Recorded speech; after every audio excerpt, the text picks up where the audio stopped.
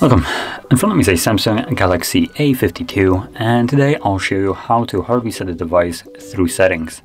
And to get started, let's open up settings.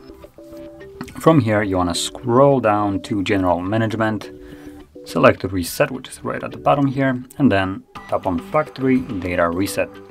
This will bring up the uh, comprehensive well, list of everything that it's going to be removing. Um, now, most important things that it will get rid of are things like your music, photos, user data, and maybe apps.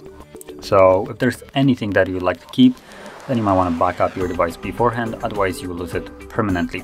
But assuming you have already done it, or you simply might not want to, scroll down, tap on reset, delete all, and the process will begin. Now this will take probably like two to five minutes, and once it's finished we should be then greeted with the Android setup screen. So I'll be back once that is actually visible.